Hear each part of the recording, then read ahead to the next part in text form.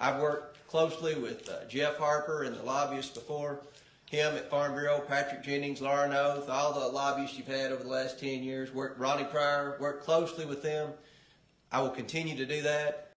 Five dollars is all my mom allows me to spend. Okay, ten dollar each. What do we get for ten dollars? Everything you want. Everything? Everything. Uh, Brett Hale's a friend of mine.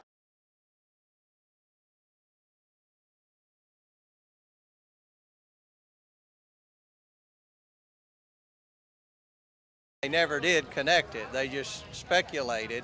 Uh, Churchill Downs made a $100,000 donation to a super PAC.